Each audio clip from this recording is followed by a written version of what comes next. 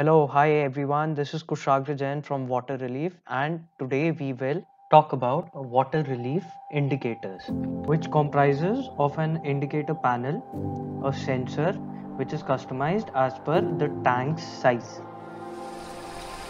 As you can see, the change in level of water in the tank can be observed on the indicator. The indicator gives an alarm when an action is required to either switch off or on the motor depending upon level of water inside the tank. In order to silence the buzzer, just press this button.